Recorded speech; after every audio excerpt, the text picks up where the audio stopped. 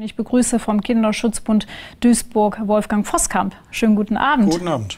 Herr Voskamp, Sie haben sich aufs Fahrrad gesetzt, sind hm. einige Kilometer geradelt. Wie viele waren es denn insgesamt? Ja, insgesamt 235, die eigentliche Tour plus An- und Abfahrt 240. Ähm, ja, es ist ähm, die Elfstedentocht gewesen. Elfstedentocht ist äh, niederländisch, heißt Elfstädte-Tour, findet statt im niederländischen Teil vom Friesland, das heißt also in Westfriesland und heißt deswegen so, weil man alle elf Städte, die in den den, äh, der Provinz sich befinden, anfährt. Und das ist so eine große Acht, die man fährt. Und ähm, es ist eine wahnsinnige Veranstaltung, weil 15.000 Teilnehmer äh, dabei sind. Alle acht Minuten starten 650 äh, Radfahrer. Und ähm, ja, wenn 15.000 Teilnehmer da auf der Piste sind, dann ist das schon toll. Und das Schönste ist, die sind alle nett.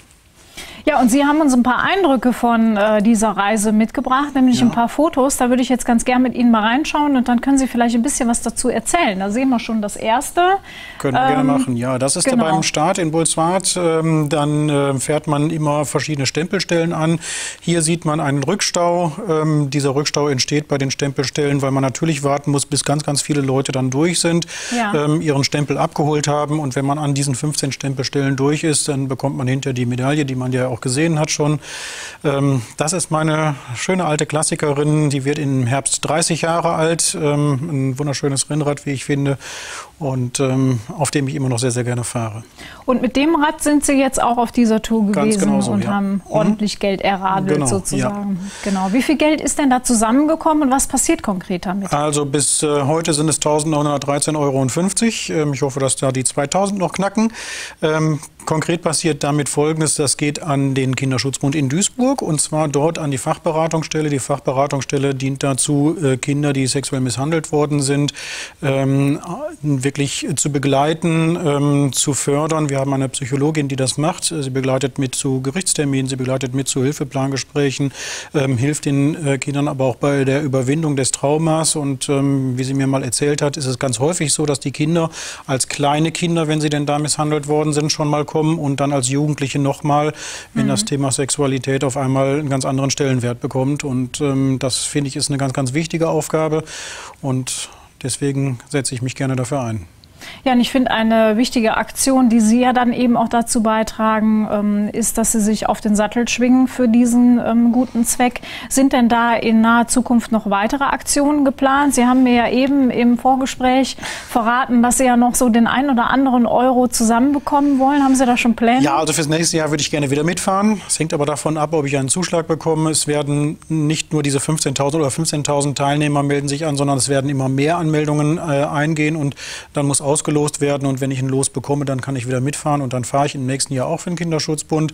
Wir haben aber jetzt in Zusammenarbeit mit der Stadtbibliothek Duisburg ähm, eine Ausstellung auch ähm, von September bis November und können im Rahmen dieser Ausstellung, das hat mit dem Fahrradfahren nichts zu tun, sondern mit meinem zweiten Hobby der Fotografie. Ich habe ein äh, ähm, paar Leute um mich herum gesammelt, die einen Fotoclub bilden und im Rahmen dessen können wir Bilder ausstellen. Die Bilder können gekauft werden und tatsächlich können wir hinterher zum Schluss auch noch eine Veranstaltung Veranstaltung machen, eine Auktion, in der dann äh, Bilder versteigert werden.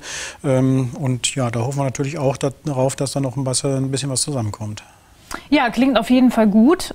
Ähm, wieso engagieren Sie sich denn äh, so sehr in, in Ihrer Freizeit, ja, um eben Spenden beispielsweise für den Kinderschutzbund zu sammeln? Was treibt Sie da an so? Ursprünglich war es mal ein Zeitungsartikel, ähm, der ähm, sich darauf ähm, bezog, dass äh, diese Stelle, diese Fachberatungsstelle äh, möglicherweise wegfallen muss, weil sie ja von dem Kinderschutzbund ähm, im Ortsverband Duisburg getragen werden muss. Und wenn die ähm, Gelder nicht zusammenkommen, mhm. Ähm, dann hätten wir es halt nicht mehr durchführen können. Und da habe ich einen langen Artikel Artikel gelesen und ähm, der stand in der Zeitung und den, daraufhin habe ich mich mit der äh, Vorsitzenden Frau Tobergte in Verbindung gesetzt, telefonisch und habe mit ihr gesprochen und sie hat mich äh, so sehr davon überzeugt, dass das ein sehr, sehr wichtiges Thema ist und auch ein gutes Thema und ähm, ich bin in meiner Ausbildung damals mal in der Staatsanwaltschaft gewesen bei der ähm, Station bzw. Ähm, Dezernat Gewalt gegen Frauen und Kinder und wenn man mal so ein bisschen mitbekommt, was es da so alles gibt, dann weiß man, da muss man sich einsetzen. Mhm.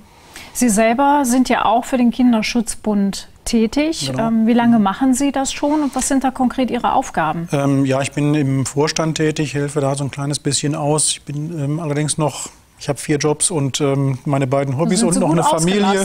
Ja, ich habe keine, keine Langeweile, aber ähm, soweit es geht, versuche ich denen dann schon noch so ein bisschen da auszuhelfen, also im Vorstand ähm, Tätigkeiten auszuüben und ähm, manchmal wird dann eben halt auch so ein bisschen um Rat gefragt, ähm, weil ich mal irgendwann Jura studiert habe, ich bin Rechtsanwalt und ähm, deswegen kann man da schon mal vielleicht das ein oder andere so ein bisschen begleiten. Mhm. Wie muss ich mir denn ähm, die Arbeit vom Kinderschutzbund auch konkret vorstellen? Also ganz Menschen, die jetzt ähm, mhm. damit nicht so viel anfangen können? Ganz, ganz vielfältig, muss man sagen. Also neben dieser Fachberatungsstelle, die ähm, einen Teil ausmacht, gibt es noch ganz, ganz viele Projekte. Ähm, das sind Projekte Wunschomas, Wunschopas. Das finde ich persönlich ganz besonders schön, bei, gerade für Kinder, die ähm, vielleicht keine Familie haben, keine gute Anbindung haben, wo beide Eltern ähm, berufstätig sind und die Kinder letzten Endes nicht versorgt werden können über den Tag. Da können sich ähm, Großeltern finden, die mit den Kindern spielen, basteln, Dinge machen, die Großeltern mit Kindern normalerweise machen, mit Enkelkindern. Ähm, wir haben das zu uns mit uns, ähm, gerade für Kinder, die aus dem Ausland gekommen sind, ähm, noch nicht so wissen, wie funktioniert das eine oder das andere in Deutschland. Wie geht man zum Arzt, wie fährt man mit dem Bus oder sonstige Dinge. Es gibt noch viele einzelne Projekte, äh, weitere schon, Sprachpaten. Wir, wir können da noch lang weiterreden. Ja. Uns läuft nur leider die Zeit davon. Herr Voskamp, ich bedanke mich sehr für Ihren Besuch und ähm, toll, dass Sie sich so engagieren. Vielen Dank. Ganz herzlichen Dank auch Ihnen. Danke.